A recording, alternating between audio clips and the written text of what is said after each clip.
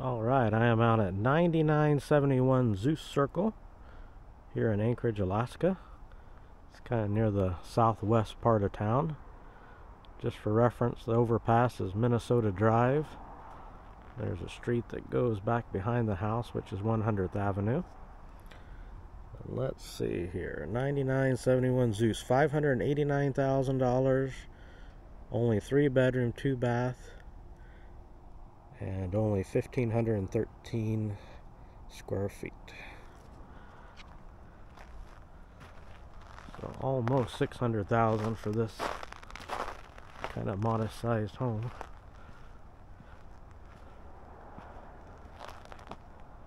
does have a kind of a bamboo finish. Is that what that is? No. Just a wood pine finish, I guess. Two car garage.